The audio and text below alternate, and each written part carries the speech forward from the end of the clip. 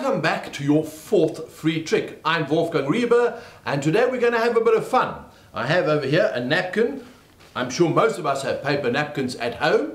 All I'm going to do is just tear it up and see what happens. Now, then we tear it in half like this and then we'll do one more over there. And well, now we'll just mess it up into small pieces like that. When you fold it up, something really cool can happen. Watch this. Oh, don't worry about that. And now when I unfold it like this, you see that we have a brand new restored napkin over here like that. Ha! What do you say about that? Yes? Isn't that an awesome trick? Excuse me? The piece that fell. Oh, this, this one here. Oh, no, that, that's not the torn pieces. That is a, another restored napkin like that. And that's the part that really gets everyone. Isn't that a cute little twist to the torn and restored newspaper or paper trick? How did I do that? Well, in magician's terminology, we call this a sucker trick. Why?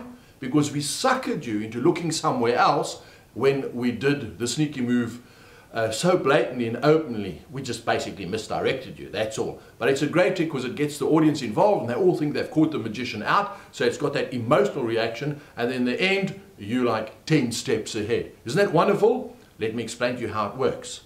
You need three identical napkins. It's as simple as that. There are three. They're not just two, they're three because you're adding the sucker element. You take one of the napkins and you fold it in half. Uh, you fold it basically as small as you can, in half, in half, in half, like that. And you do exactly the same with the second one. So you're going to be hiding two in your hands. I folded both of them up like this. Now what you're going to do is you're going to do a finger palm. That's the palm of your hand. You're basically going to put them in your fingers and hold them like this. You can see quite clearly there. So from the front, your hand looks quite natural. This is called a finger palm, like that. Now I pick up the napkin on the table and I show everyone the napkin like this. This is the audience view. The back view is of course there with the other spare ones in my hand. No one knows about them. Also, because the napkin is right over your hand, it hides, if there was a glimpse, any of those. So you can show the napkin like this.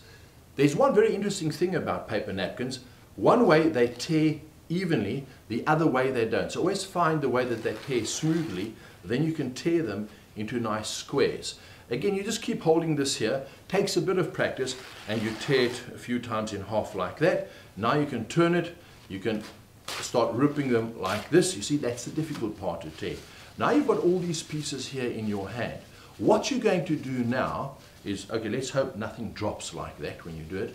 What you do is once you've got that, you swap them around, and as you do this, you drop a piece onto the floor, just have a quick glimpse of, oh, and ignore it, make as if you're trying to cover it up. Now what you're doing here is you're actually palming the torn pieces, and now you're opening up the restored or the other duplicate napkin like this. Everybody is so intent on the piece that you dropped that they're not even going to worry even if they catch a glimpse here or if your hand is in any way uncomfortable holding this because they're all worrying about that one.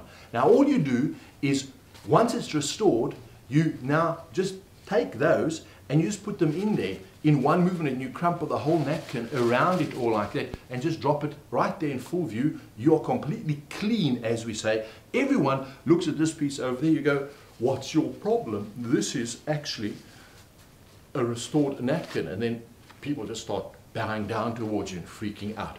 This does take a bit more practice than the other tricks, but it shouldn't take you that long. Not going to cost you much, it's just a few paper napkins, and you'll have a lot of fun with it. I will see you tomorrow with the last trick, which is a really awesome card trick. So until then, bye.